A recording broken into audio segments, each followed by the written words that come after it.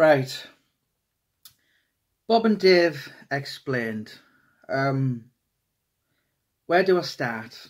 Apart from it's it's a parody, it's a comedy, right? Um, the the page has picked up quite a bit of a following like last couple of over the last year so some some inboxes kind of not really getting it some offering fights um it's it's basically um obviously i'm busy seven days a week in, the, in into a lot of things and um i had dave I, I tell you what, before I even come across them, just these videos kept coming up um, of two guys in Steel City Gym, which which is in Middlesbrough.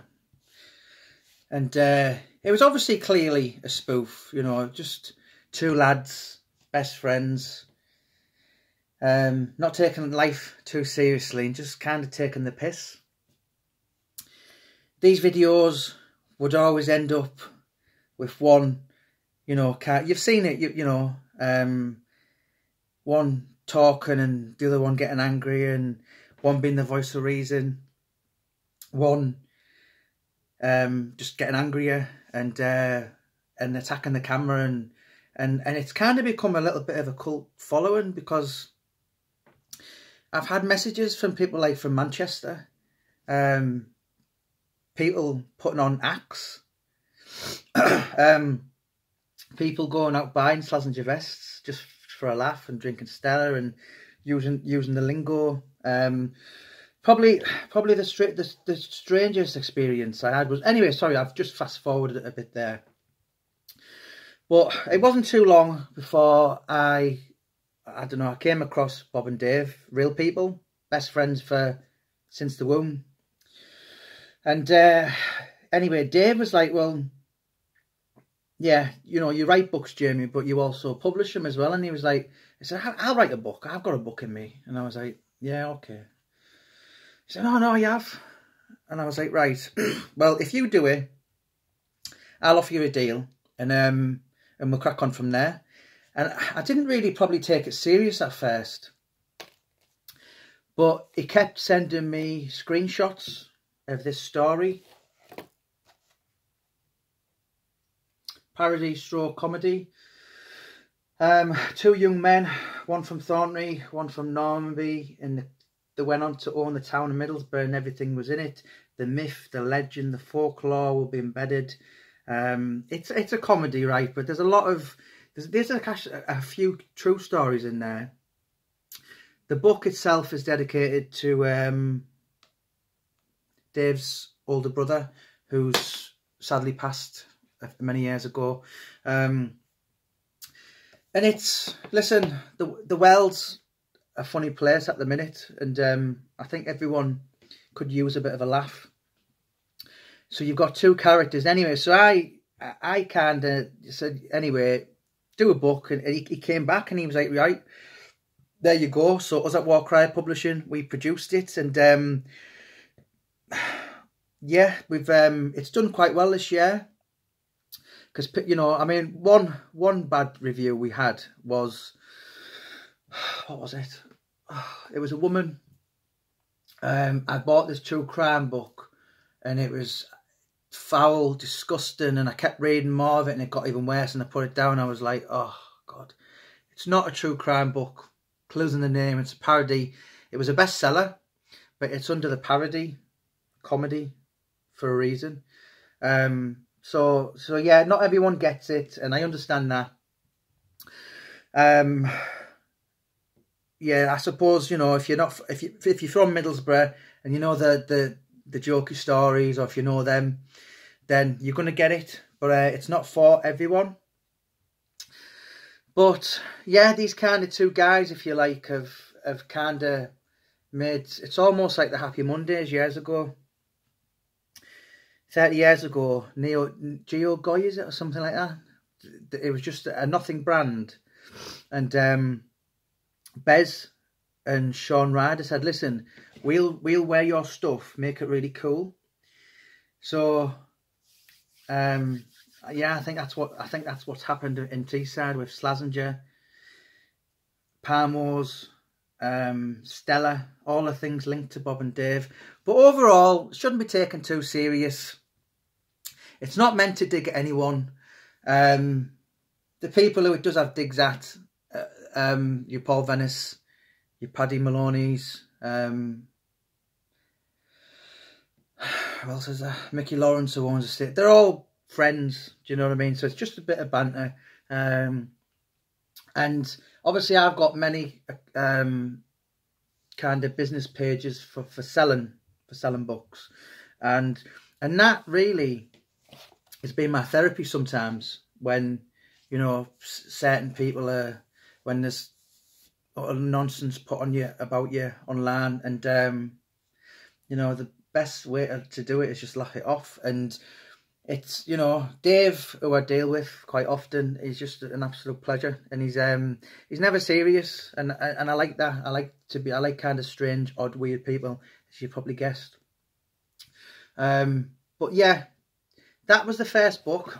If anyone wants to buy it now it's out on Amazon as I always say to the any greedy fuckers out there it's four pounds 95 via Kindle from Amazon and if you want the paperback it's twelve ninety five, but Dave is got a stack load, and he'll give you them for um for a tenner or something. like That if you want inbox a page, and have one dropped off. And the sequel to it, Bob and Dave Two, The Moon Was Already Ours, um, is more of the same. Um, yeah, there's a chapter on Paddy Maloney in there. Uh, I think they go to Shane Taylor's house and eat his tea.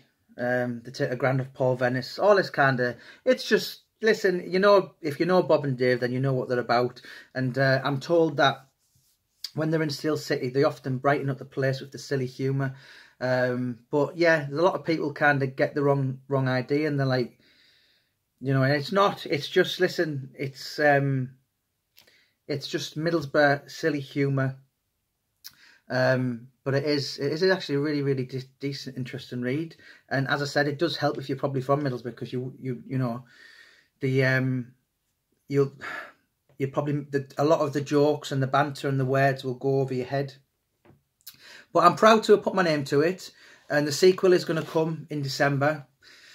But for anyone who wants to get on the Bob and train, Bob and Dave gravy train, um, yeah, you know, it's um, the yeah, the, the page has got up uh, to a bit of a following. And as I said, it's kind of gone on to, um, it, it's people like talking about it on Instagram now and Twitter. Um, do you know, the funniest story, which I will tell you, this is what I meant to say to you, was it must have been about a year back anyway.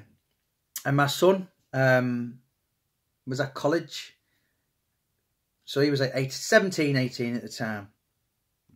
And he said, oh, he said, oh, everyone at, at college was talking about Bob and Dave. So I think he must have overheard me because obviously I work from home. So, he, you know, he was like, did you just mention Bob and Dave there? I was like, yeah. And he was like, oh my God, yeah. Loads of people at Middlesbrough College you're talking about. And I was like, Thomas, you do know that's one of my books, don't you? And he was like, he had no idea. Um, so I thought that was quite funny. He was like, no way. I was like, yeah. I was, you know, obviously Dave's written most of it. I've had a few tweaks here and there. And uh, me and Dave have worked together. But to be honest, uh, all the magical stories, um, they all came from Dave Taylor's imagination and uh, credit to him. And yeah, listen, the, the world isn't a nice place at the time. Middlesbrough's not, you know, not, not, can, can be too pleasant at times. People, there's always someone bad mouthing you or even though you're giving to charity this or that or trying to do something. Um, so this is just a bit of a bit of a tongue-in-cheek banter and um, you know a, a, lot of people listen everyone in that gym steel city gym they all know bob and davies um, obviously lockdown at the moment so there can't be many videos um, they haven't been really together at the minute obviously everyone everybody knows connected with the page Bob is either in prison or he he works on the rigs. He's on the Aberdeen train. He's he's often on the Aberdeen drinking Stella, and if he wants to kick off, he kicks off. Nobody stops him. Um, but yeah, it's uh, you know getting them two together at the minute. It's kind of it's it's you know it's it's hard as you can imagine. But uh, the two characters I have a lot of time for, and they yeah they uh, they always put a smile on my fat face. So guys, yeah, Bob and Dave Teesside if the Boo Fits is out now.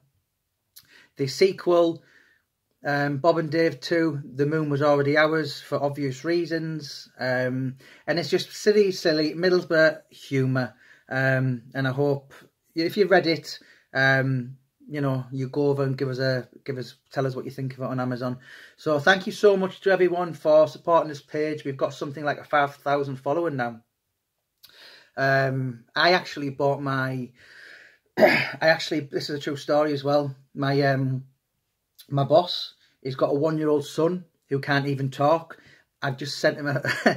I've been looking for weeks and um, I had a look online. Well, the wife did, to be honest. And we found a Slazenger vest for a two-year-old. So we're going to... I've sent it to him. He said, oh, yeah, I've got it. So he's going to send me a picture tonight.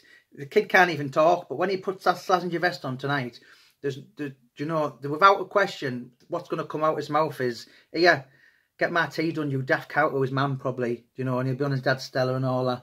But listen, thank you so much, guys. Uh, keep following the page, and thank you for all your interest and support. And don't forget, buy the book. I'll send the boys round. Um, Paul Venice has been told, listen, Paul, just because you've got the part to play, play Lee Duffy doesn't mean, as Bob would say, doesn't mean your game is fuck, right? Come in the Steel City bag room with them. Right, thanks guys. God bless.